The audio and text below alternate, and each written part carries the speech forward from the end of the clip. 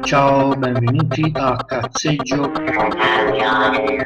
Ciao, benvenuti a un altro episodio di Cazzeggio Catabiotico. In questa puntatona dal colore di retro computing metteremo a confronto il mitico Commodore VIC-20 contro il Commodore 16. Quale di due scegliere per una collezione di retro computing? Il Commodore VIC-20 fu il primo computer della storia dell'home computing. Il suo sviluppo hardware deriva dal PET.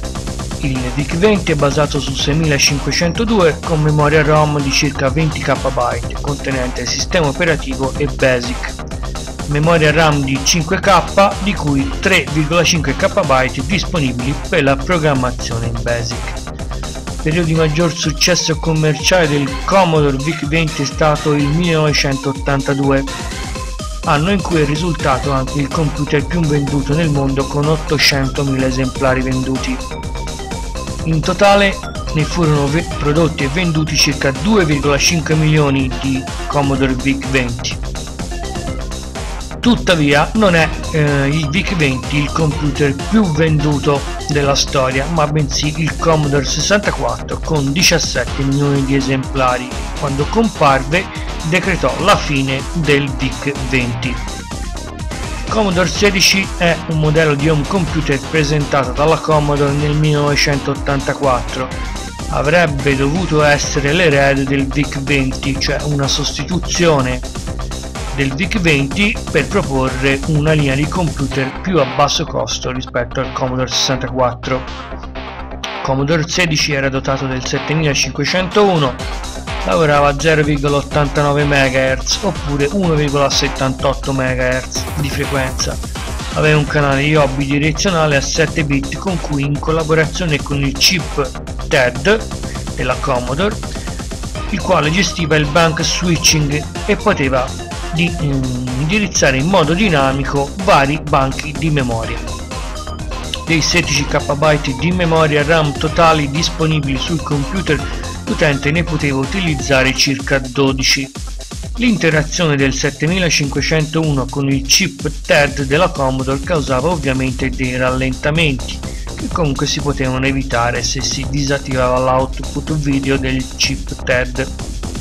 Ora, la scarsa dotazione di memoria, l'assenza degli sprite e la presenza di un audio di basso livello non facilitarono lo sviluppo di giochi.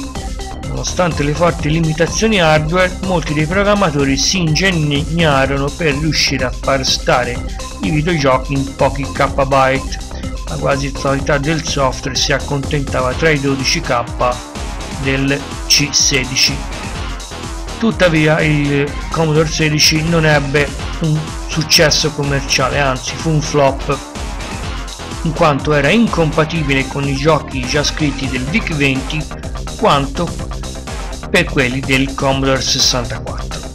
Quale dei due scegliere? Ma sinceramente per questi due computer sono talmente preistorici con una memoria veramente infima e con una qualità dei giochi sia come grafica che come effetti sonori che io sinceramente non mi starei nemmeno a porre il problema di mettere da parte qualche cosa né diciamo di hardware che sicuramente avranno tastiere a pezzi alimentatori prossimi a incendiarsi e nemmeno stare a crearci troppi problemi per il mondo dell'emulazione anche se a quanto pare Google qualche emulatore del Commodore VIC-20 e, C e del Commodore 16 ne trova. Io sinceramente questi due computer li scarterei completamente rispetto al più importante Commodore 64. Ok, per questa brevissima puntata di retro computing abbiamo finito, un saluto, ciao, alla prossima.